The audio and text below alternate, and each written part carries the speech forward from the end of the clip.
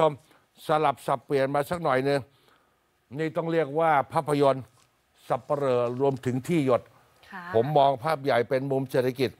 ปลุกโรงหนังกลับมามีชีวิตเลยนะ ใช่จริง ๆ ต้องค่ะเรียกว่าผมเนี่ยมันขึ้นฟีด ให้ผมมาดูเห็นอย่างต่อเนื่องโรงภาพยนตร์ต่าง ๆ ทั่วทั้งประเทศกลับมาคึกคักผมขอโยนผู้คนไปต่อแถวอาค่ายหนังเนี่ยจะอ่าไม่ใช่เอ่อค่ายของโรงหนัง คุณต้องมอบโล่ให้กับภาพยนตร์สองเรื่องนี้แล้ว เสียงเขาพูดแบบอย่างที่หยดเมื่อวันพฤหัสบดี ซึ่งเป็นการเปิดฉายวันแรกวันพฤหัสนะ ทุบสถิติเปิดตัวค่ะ เพราะว่าเปิดตัวด้วยรายได้สูงสุดอันดับหนึ่งของปีนี้ก็คือ 39 ล้านบาทนะคะ และล่าสุดท่านผู้ชม วันแรก 39 เมื่อวานนี้วันศุกร์อีกวันหนึ่งณขณะนี้ที่หยดประกาศ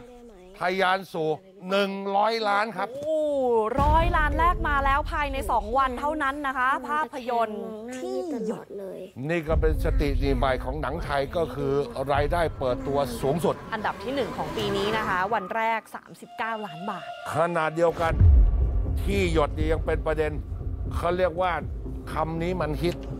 ที่ทอทงค่ะมันถูกเอาไปใช้ที่นั่นที่นี่ แม้กระทั่งกรณีของ MRT นะ MRT ก็ตามกระแสค่ะ ล้อเลียนกันคำว่าที่หยดเป็นคำว่าที่แตะนี่ แตะบัตรแล้วทำไมประตูไม่เปิดก็ให้ความรู้นะคะ ว่าไม่ได้หลอนอย่างที่คิด คือบางคนไปแตะผิด ถ้าถือบัตรเครดิตบัตรเดบิตจะต้องแตะจุดหนึ่ง ใช่ คือด้านบนสำหรับบัตรเครดิตบัตรเดบิตค่ะ แต่ด้านล่างอะจุดแตะด้านล่างสำหรับบัตร MRT และเหรียญโดยสาร MRT ก็เลยต้องใช้คำว่าที่แตะ เสียงต้องมาสิ นี่ไม่น่าเชื่อนะ เขาเลยบอกว่าถ้าแตะเราแล้วยังไม่คิดว่ากระเปิแสสับเปลอแล้วที่หยดจะเกิดอะไรขึ้น ปรากฏว่า